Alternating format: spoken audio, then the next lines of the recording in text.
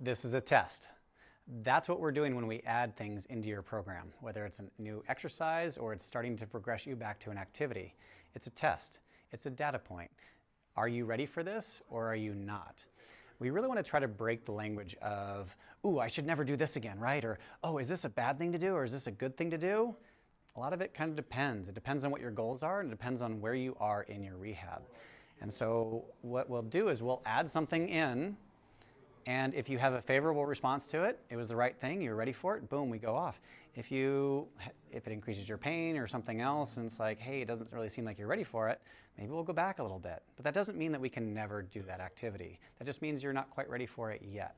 So it's our job to know where you're going, to know what your goals are, and to how to get you there. And then it's, it's, we have to build that foundation to make sure that you're tolerant to all these new exercises and activities all the way back to what you want to do.